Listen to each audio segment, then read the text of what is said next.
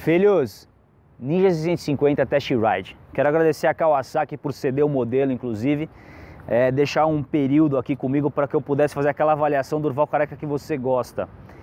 Eu confesso que eu já tive um primeiro contato com ela, que foi no circuito pan-americano, no Festival das Duas Rodas, que lá teve avaliação de todas as categorias e tal. Eu peguei ela para dar um rolê na pista que eu não conhecia e foi uma moto que eu me adaptei com muita facilidade, muito rápido e muito diferente do modelo anterior.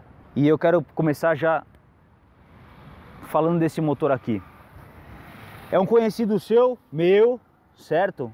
É um bicilíndrico, que é o mesmo que equipa é, ER6, a Ninja, agora a nova Z650, mas mudou o jeito de ele entregar a potência, inclusive a forma com que ele está é, ajudando no conjunto. Veja, a antiga tinha 72 cavalos, essa tem 68. O torque é o mesmo, 6.7. E tanto o torque desse motor aqui agora, quanto a cavalaria, vem 500 RPM antes. Só que não só isso, ela está mais linear.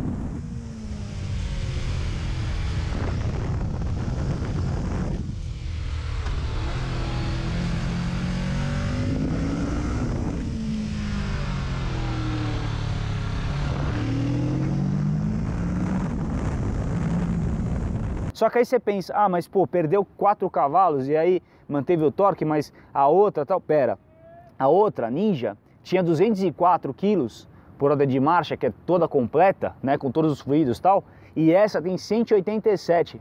Então se você fizer a conta peso-potência, essa aqui tá bem melhor. Fora isso, você tem uma embreagem deslizante assistida que parece um papel. Você pega aqui no manete, meu, você não faz nem força, para apertar. E ela está desligada, tá? Porque a hora que ela está ligada ela fica mais leve ainda.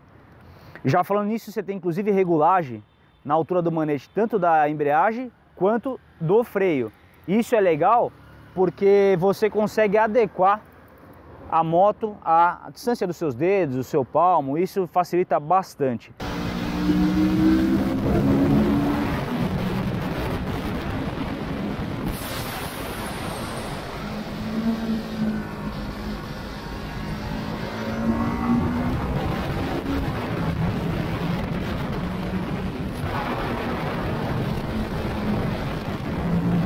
Se liga como o estilo está muito atualizado.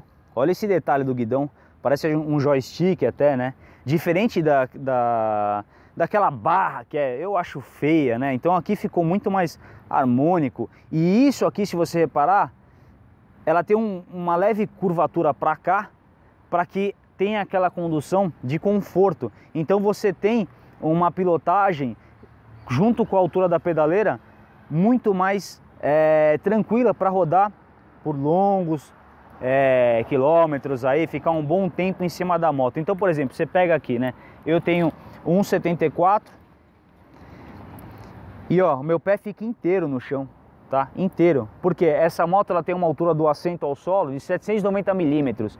Então, com um pé tranquilo, com os dois também, e é na pilotagem aqui, ó, eu fico muito confortável, tá? Por causa desse ângulo do guidão. Então ela remete uma, uma Sport Touring é, antiga na forma de você sentar e encaixar, mas totalmente atualizada na forma de pilotar. Tá? Isso é bem legal porque a gente tem também uma questão do, do ângulo de caster aqui em relação à antiga, por exemplo. Agora é 24,5, a outra era 25. E aí o que, que você tem? Você tem isso aqui, ó. E quanto mais para cá, mais speed ela fica, certo? Só que aí para compensar isso, o que, que eles fizeram? Mudaram a suspa. Então, tanto o amortecedor traseiro quanto a dianteira ganharam 5 milímetros. Então, o traseiro agora ele tem 130 milímetros de curso, tá? E a dianteira, ela tem 125 milímetros de curso, standard, com o diâmetro de 41 milímetros. Então, esse trabalho, quando a gente fala de ângulo de caster, por exemplo, que você traz ela mais para cá, o que, que aconteceria? Ela ia pegar os, se tivesse a, a suspada antiga, ela ia pegar os buracos e você ia sentir mais. Aí se, se você aumentaram o curso, para que você tenha a esportividade, mas ao mesmo tempo o conforto de uma Sport Touring. Porque o cara que vai pilotar às vezes essa moto, ele não vai ficar toda hora em pêndulo, ele vai ter uma condição mais tranquila às vezes. E você vai conseguir. Mas se aí você fala assim, ah, vou ligar o modo Ray, você também vai ter o modo Ray aqui dela. Capacidade do tanque 15 litros e o tanque ele veste muito bem, tá? Você consegue abraçar ele muito bem, você consegue puxar ela muito bem para fazer um pêndulo, uma curva. Tá muito fácil o deslocamento, inclusive no, no, no banco. E o banco tá bem confortável, tá? O do garupa médio, mas o, do piloto tá bem confortável. Até mesmo numa carenadinha aqui, ó, você consegue luxinho.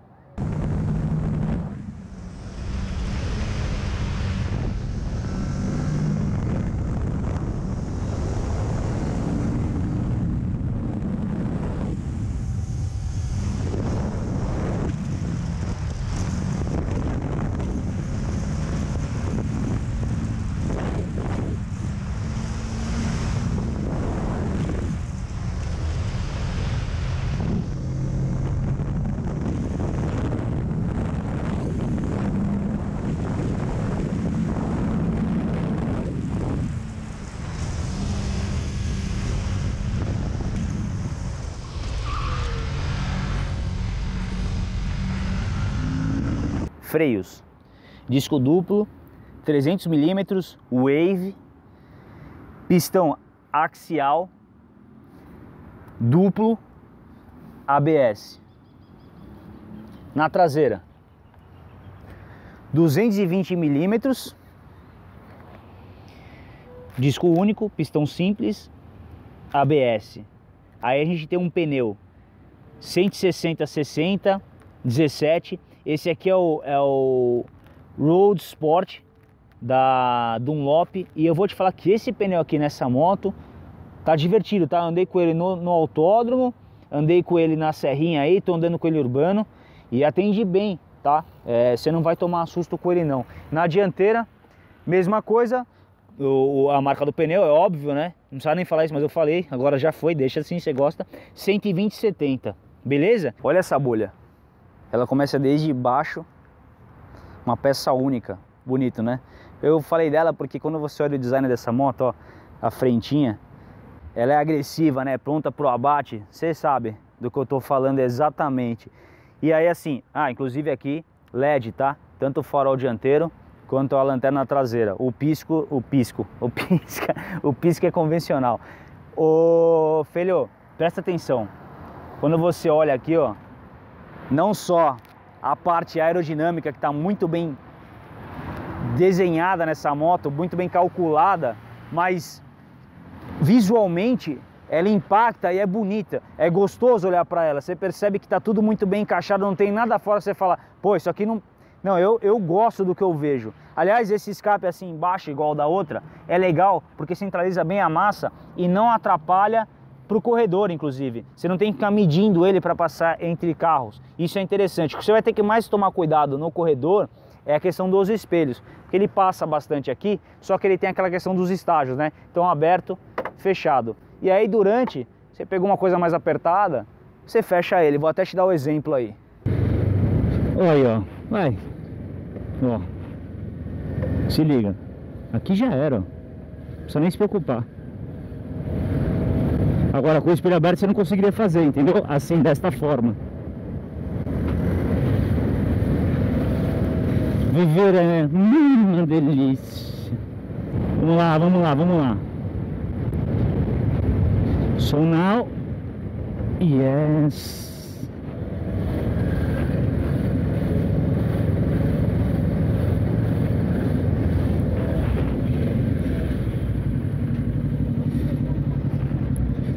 Você entendeu a sacada aqui, filho? Você vê como ela tá estreitinha, luxo? É isso que eu queria que vocês soubessem. Tá visto, né? A moto não cansa, a moto é confortável e você pode utilizá-la também no seu dia a dia aí, tá? É, o que você vai ter maior, é claro, que o gasto de manutenção, por exemplo, um pneu desse é muito mais caro do que um, uma moto de pequeno porte. Então, se você andar direto dia a dia, ele vai ficar quadrado mais cedo. Tá? Mas essas coisas quem compra uma moto dessa já precisa saber. Painel completo, TFT, bonito, marcador de marcha, RPM, combustível, velocidade, horário. Aqui ó, a velocidade média que eu fiz até chegar nesse percurso que eu tô agora aqui. É, trip A, trip B, odômetro, temperatura. É, para cá, você tem o tempo que ela, desde que eu liguei a primeira vez, bateria, quilômetro por litro, aí no caso ele vai funcionar quando eu estiver andando, que ele faz instantâneo. É, aqui ele tem um parcial de tudo que aconteceu. É, e esse range, quando eu ligo também a moto, ele vai falar qual a capacidade desse tanque, quantos quilômetros ele consegue rodar. E se você segura os dois, aí você entra nas configurações do painel. Então aqui ó, Vehicle Settings. Então eu aperto aqui, vou descendo, ó, display, data e hora, serviços são as revisões, o Bluetooth aqui eu conecto com o radiológico, já vou chegar aqui, e as unidades, bom, beleza. Vehicle Settings. Então aqui ó, Shift Lamp, que é o Shift Light da moto. Eu regulei ele para 7.500 giros, você pode deixar ele desligado também. Então a 7.500 giros, na parte do RPM aqui, ele começa a brilhar. E isso te ajuda para saber quando você quer trocar a marcha, porque daí você pega assim, ó, se o torque vem a, a, a 6,5, né, e ela empurra a cavalaria a 8, exemplo, então deixei 7,5 porque eu já caio no 6,5, estou sempre numa faixa boa. Mas aí isso é, é cada um, tá? É bem particular. Depois eu vou devolver a moto, vou mudar. Mas ó, beleza. Aí aqui ó, o display. Então você pode deixar mais brilho, menos brilho, tal. Então você tem todas as configurações desse painel aqui e o mais legal dele é a parte do Radiologic, que foi onde eu conectei que eu vou te dar o exemplo também. Eu conecto ele lá quando eu chego. Aí, claro, eu fiz e voltei várias vezes no trajeto lá, então, claro que ficou é, maior. E você pega a velocidade real, é, é bem legal. Olha que luxo. É que não tem sinal aqui, tá? Mas é o seguinte, ó. Não sei se dá pra vocês verem aí se tá bom o ângulo aqui. O modelo da moto Z650 Ninja, o dia de hoje. Andei 48 minutos aqui nessa partezinha, uma distância de 63 quilômetros. E aí a média que ela fez foi 24.8. A máxima que eu dei foi 157, uma média de 79 km por, por hora. E, e nesse trechinho aqui, tá? Agora foi mais legal ainda. Mais 47 minutos mais 62 km, média de 30 por litro e a máxima GPS 196 GPS. Ligando a moto aqui, eu seguro esse aqui, ó, fica branco. Então se você gosta dele mais aceso, você tem essa opção aqui no painel também. Segurei de novo, volta a ficar preto, que é o blackout, né? Então, é, o mais legal aqui é você configurar o Bluetooth do seu celular com a moto e aí você tem o trajeto. Então você consegue é, ver o quanto você fez de velocidade, a média de combustível, o percurso que você rodou, você localiza a motocicleta e isso é bem legal. É o radiológico que você baixa o app no teu celular. Inclusive no vídeo da Z900 eu falo bastante desse aplicativo aqui. Distância entre eixo, daqui até aqui, 1,410. Eu quero concluir esse test ride dando minha opinião agora, é claro. Em relação ao modelo antigo, mudou completamente.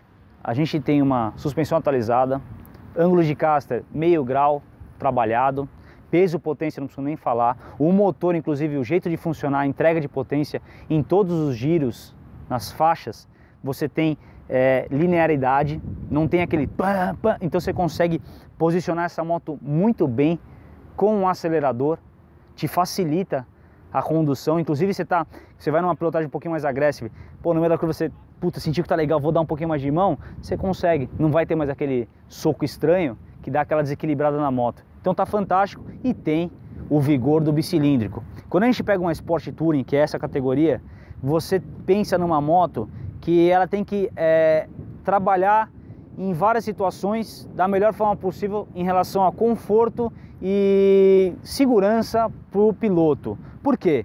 Pô, eu quero andar num circuito. Eu consigo essa moto? Consigo. Eu tenho a mesma pegada no circuito? Não, não tenho. Mas eu tenho segurança e facilidade na condução. Quero pegar um trecho de serra.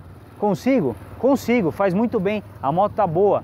Eu consigo, sei lá, lá. Pô, se eu colocar um Super Corsa aqui, dianteiro e traseiro, vai fatiar tudo. Até melhor porque ela é mais na mão na tocada, né? Só que assim, o detalhe que eu acho que é o, o fundamental, eu tenho placa e parafuso no ombro aqui, as âncoras, né? Então, dependendo de como fica a posição do piloto aqui, o guidão, porque agora todo modelo tá mais Street Fighter. O que, que é isso? O guidão mais paralelo aqui, né? Mais para frente, aquele approach aqui assim, ó. Isso depois de um tempo ele acaba me cansando, dá um desconforto, dependendo dá até dor. A, a, parte que eu pego alguma ondulação eu sinto direto aqui. Aqui não, eu não senti nenhuma vez, eu fiquei super confortável, é, não me faz querer descer da moto. Então essa pegada atual com o feeling clássico da pilotagem foi uma coisa que me satisfez muito e eu acho que vai satisfazer muita gente aí também que quer uma moto que tem um estilo atual, mas um comportamento clássico na hora de pilotar. E essa vai ter. Mas o clássico com tudo atualizado, tá? Mas o que eu falo é principalmente isso aqui, ó. Eu tô aqui, ó, sentado, eu tô confortável, meu ombro tá relaxado. Ó. Se ele fosse um pouquinho mais para frente, meu ombro já fica em ângulo aqui e já começa a me incomodar. Então, para quem tem probleminha no ombro, vai ficar tranquilo. E quem não tem, então, maravilhoso. Acho que dá até para ficar assim, ó, pilotando a moto. Então, assim, Pode ir tranquilo, se você quer uma companhia de viagens aí, quer um mix de tudo aquilo que está acontecendo e realmente o entre-eixo da 636 para Ninja, você vai achar na Ninja 650. Beleza, filhos? Espero que vocês tenham gostado desse review. É nóis, confere aí sua inscrição, deixa um like. Tio Guedinha máximo e aguardo o próximo. Na verdade não é review, é test ride. Acontece. Au! Total, obrigado Kawasaki. É nozes.